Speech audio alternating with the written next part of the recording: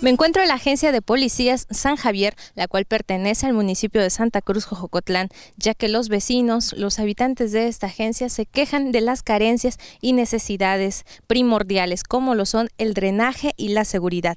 Acompáñeme a verlo.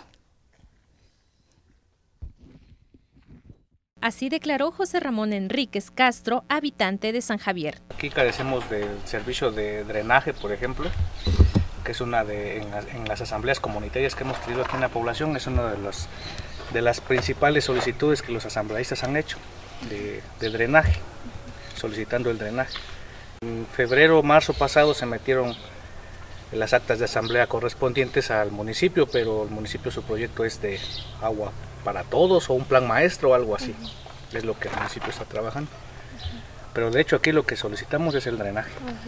De igual forma, el señor Artemio Cortés Ramírez nos mencionó lo siguiente. Eh, el drenaje, también tenemos un problema con el agente municipal, que no hay ahorita agente municipal, están en, conflicto.